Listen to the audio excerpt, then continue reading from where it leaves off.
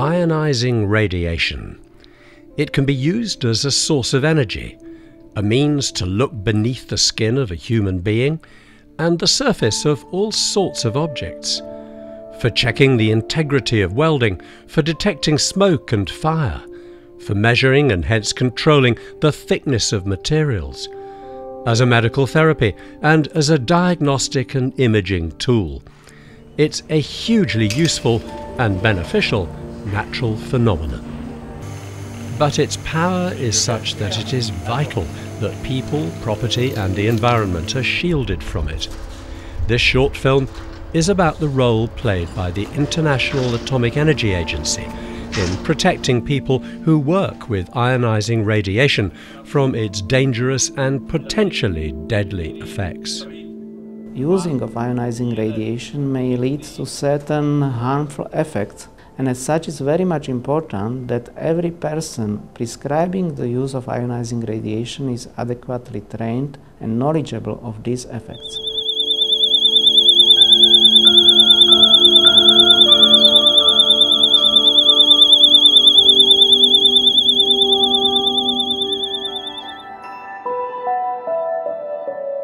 Radiation is a form of energy. Some radiation types can penetrate material and cause a process called ionization. Radioactive materials produce such ionizing radiation. This radiation can damage the chemical structure of biological material, like the cells that make up human organs and tissues. It can affect the DNA, which in turn can lead to cancer. The International Atomic Energy Agency is responsible for protecting people and the environment from the effects of this radiation. In 2014, it hosted a major conference in Vienna on occupational radiation protection, protecting people who work with radiation.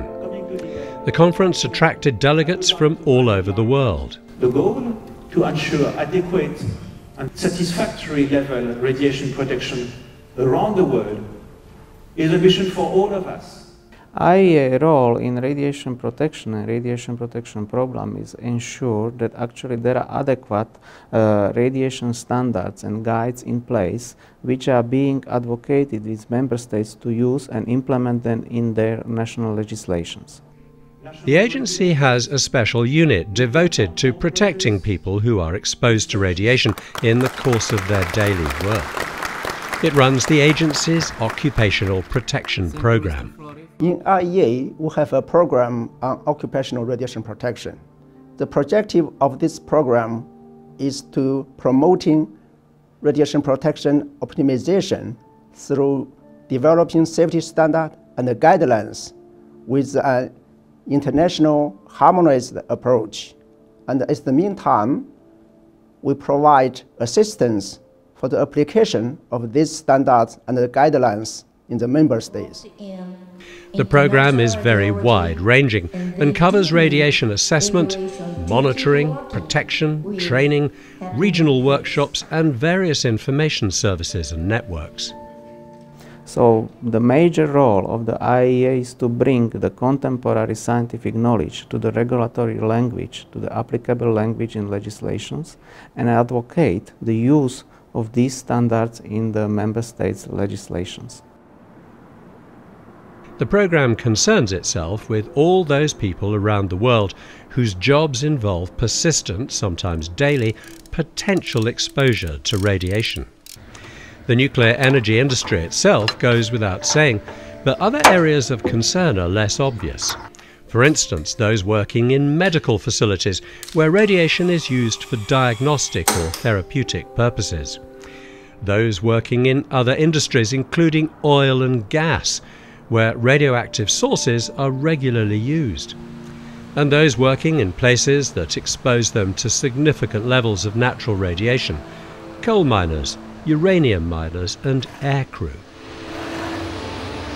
The agency is particularly interested in those workplaces where radiation safety regimes are less well established. We have several areas we need to focus on. One is typically nuclear power plants. I do believe the nuclear power plants and the radiation protection programs are well set and well established and more observed in most nuclear power plants. So the other focus which we have in the occupational exposure is to direct attention of radiation protection professionals of regulatory authorities in countries to those industries which are not that much under the scrutiny of radiation protection control. This is mining, this is medical field, these are industry like for example industrial radiography. But the principles of radiation protection are the same in all workplaces. They're the consequence of three factors that control the amount or dose of radiation received from a source. The length of time of exposure to the source, the distance from the source, and the shielding from the source. Radiation exposure can be managed by a combination of these factors. So the first principle is to limit the time of exposure, because reducing the time reduces the effective dose proportionately. The second principle is to maximize the distance from a source, because this reduces the dose due to the inverse square law. And the third principle is to use shielding to limit exposure, introducing a barrier between the worker and the source.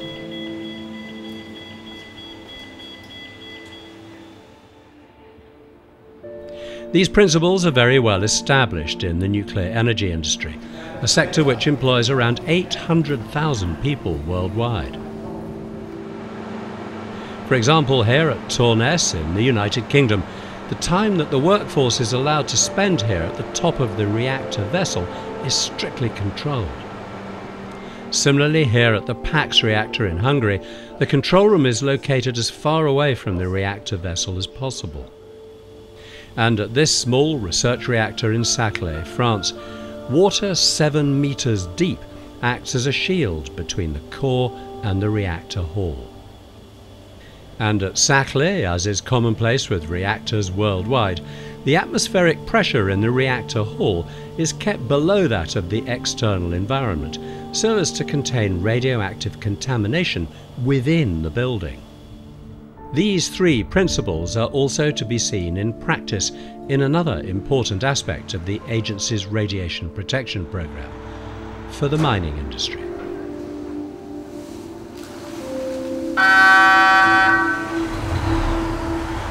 Here, an excavator is operated by remote control to ensure a safe distance exists between the worker and the radioactive source, in this case, uranium ore.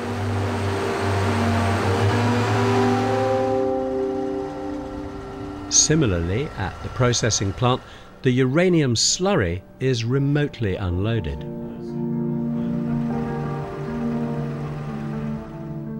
The IAEA is also addressing the other minings than uranium mining, for example, coal mining, because emanation of radioactive materials, for example, radon, from materials in the mines without appropriate uh, ventilation may reach the higher levels. Worldwide, mining for coal is a vast industry. Millions of miners are regularly monitored for exposure to radon. It's a colourless, odourless gas which can be found throughout the world. The World Health Organization has attributed radon gas to being a significant cause of lung cancer. Generally in coal mines, obviously we're always monitoring for uh, gases such as methane, for radon, there is two basic methods that we use. We can either use like a small plastic cap, which is uh, left in situ in place for a, a set, set, period of time. The other method that we, we generally use is a Gresham pump. It uh, looks a little bit like a bicycle pump. We will then take an air sample in designated parts of the mine into that pump itself. It's retained within the tube, it's sent away for analysis. If we discover that we uh, that we have radon gas in the mines of any levels above 400 becquerels per metre cubed, then obviously we need to then go into what we call an action level. That will start by uh, completed the risk assessment. It may be asking us to restrict the hours that some of the miners are actually working underground so that their exposure levels are reduced. Um, we also need to increase the amount of medical surveillance um, that we that we do. We have a number of health and safety uh, rules, regulations and acts which are already in place in, in the UK mines. However, we do receive a number of directives from the European Union. The European Union received their advice and guidance from the International Atomic Energy Agency. The International Atomic Energy Agency has a dedicated program on naturally occurring radioactive materials, NORM.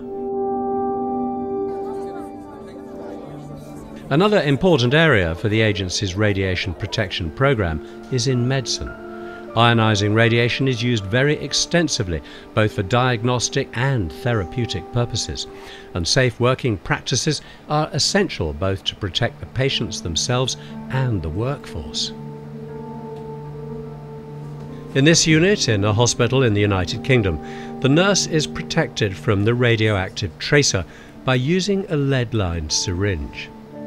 Similarly, the operators of this PET scanner withdraw through lead-lined doors to a control room behind a leaded glass window when the scanner is in use.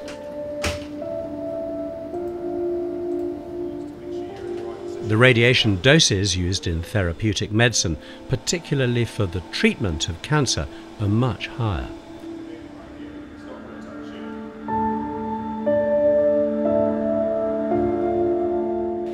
At this hospital, thinking about radiation protection began with the design of the building. Note the thickness of the walls and the way in which the design of the corridor prevents high energy beams of radiation finding their way out of the treatment room. And in all units in the hospital, constant monitoring is used to avoid contamination. Here, a treatment room is being checked for traces of radioactivity. The final area of particular interest to the IAEA is industrial radiography. Ionizing radiation is used extensively in the testing and grading of welds on pressurized piping, pressure vessels, high capacity storage containers, pipelines, and some structural welds, including those on aircraft wings.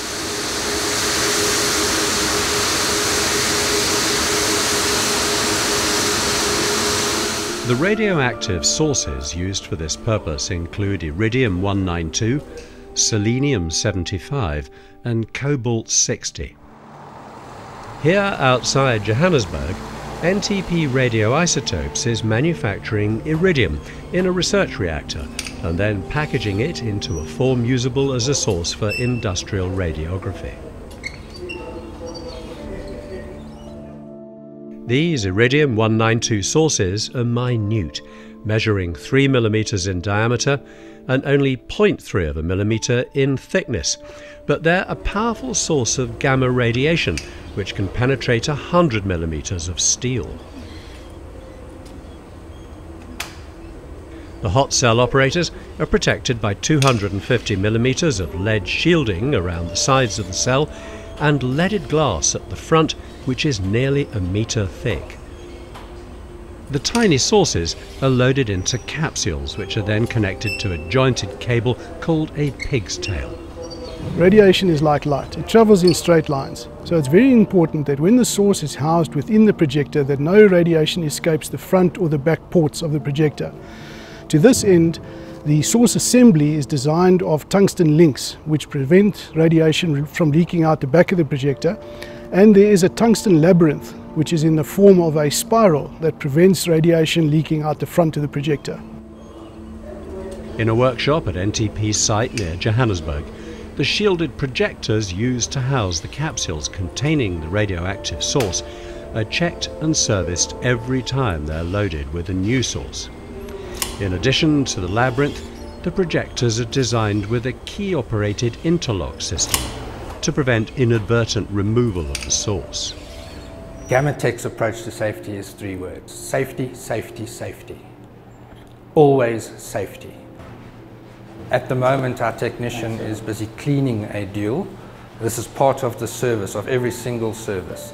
Locking mechanisms will be checked. We'll ensure that couplings fit correctly, that the lock moves freely, and we'll use a dummy pigtail to make sure that the movement of the pigtail in the projector is safe and that the lock engages every time. At the rear of the hot cells is the so-called red area, where the sources in their containers are brought out to the dispatch area where they're placarded, checked for contamination and signed out by the radiation protection officer. They can now be delivered to the end user, the radiographer. Industrial radiography does not have a good safety record and is of particular concern to the IAEA. In some parts of the world, there are operators using strong sources in remote sites with little supervision, especially when compared with workers in the nuclear industry or hospitals. Here in South Africa, this distributor of radiography projectors values the recommendations and guidelines provided by the IAEA. The IAEA rules and regulations form the backbone of the South African Departments of Health's rules and regulations for radiography in South Africa. And radiographers are trained in accordance with these rules and regulations. Before going out into the field, the radiographer will calculate both the required safe distance from the source to the safety barrier and the time necessary for the exposure. For this, he'll use an internationally accepted radiation safety principle for minimizing radiation doses and releases of radioactive materials. The International Commission on Radiological Protection had developed the concept of as low as reasonably achievable. The acronym is ALARA. And we in radiological professional feel that this is a very important tool. ALARA is not only a sound safety principle, but it is a regulatory requirement for all radiation safety programs. It's one of the cornerstones of the IAEA's approach to radiation protection.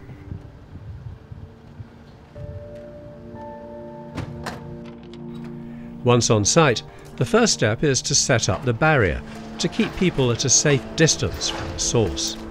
An environmental radiation alarm and a slave are set up at the boundary and checked. The radiographer also has a personal dosimeter. The projector can now be set up. A tungsten collimator with a 60 degree angled port is taped onto the pipe and the film is taped onto the opposite side. The area is then cleared of people just get out the barrier, please. The adjoining properties checked and the perimeter radiation levels checked. The radiographer and his assistants step outside the barrier and the preparations are now complete. The yellow guide tube allows the source to be wound out of its shielded housing in the labyrinth inside the projector and into the collimator. As soon as the source is out of its shielding in the projector, it sets off the environmental radiation alarm. After timing the exposure, calculated in the office, the source is wound back in. When the film is processed, a detailed examination can be made of the metallurgical integrity of the pipe. A safe and quite new alternative to this method is to use a shielding blanket that limits the spread of the radiation. But whatever the advances in technology, radiation protection is ultimately the responsibility of the individual workers concerned and the safety culture established by the organization's management. Industrial radiography companies are under a lot of pressure from their customers to perform Uh, a lot of work in a very short space of time. And therefore the radiographers are put under a lot of pressure to do this as well. If the radiographer does not put safety first every single time that he's doing work, it can be a very big problem in terms of danger to himself and to members of the public and can lead to disastrous consequences. Clearly, the agency cannot oversee the millions of applications of ionizing radiation that take place in workplaces all over the world every day. But as well as establishing safety standards and guideline standards, its work in assessing and monitoring exposure, in education and training, in the establishment of information networks and systems, the IAEA does a great deal to encourage strict adherence to the principles and practices set out in this film. The Radiation Safety and Monitoring section has a very popular website where a great deal of information can be found and where educational materials can be downloaded. For occupational radiation protection, under the International Action Plan on Occupational Radiation Protection, we created a web page. It's ORPNET, Occupational Radiation Protection Networks. And uh, it's uh, focal points for occupational radiation protection and you can find all the information on occupational radiation protection on this web page. We prepare seven posters for protection of workers in different sectors.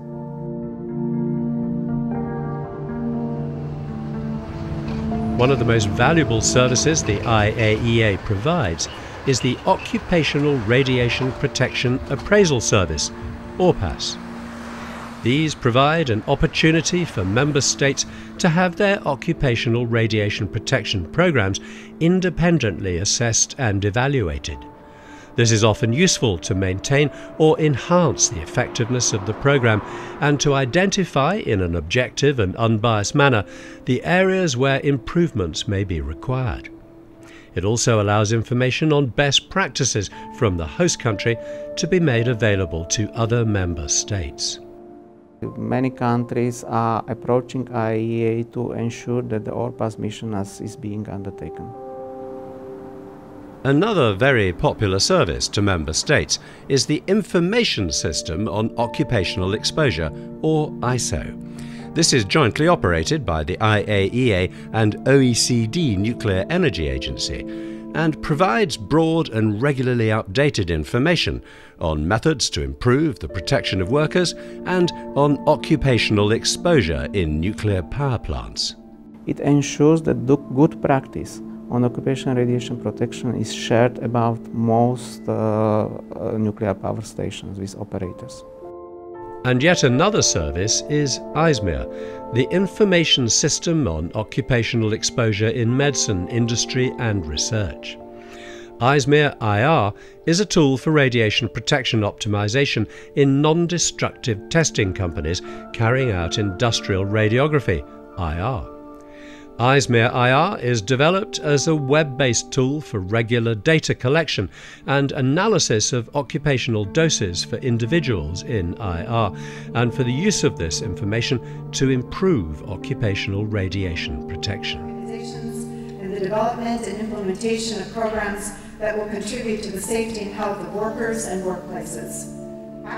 So, under the umbrella of the Occupational Protection Programme, the IAEA provides a comprehensive service to member states, and a vital one too. Because with more and more people working with the wonderful tool of ionizing radiation every day, effective workplace radiation protection programs become more and more important. It is essential that the highest priority is given to all aspects of safety so that we can enjoy the many benefits of peaceful nuclear technology while minimizing the risks. Ionizing radiation is a wonderful tool, but it should be used wisely.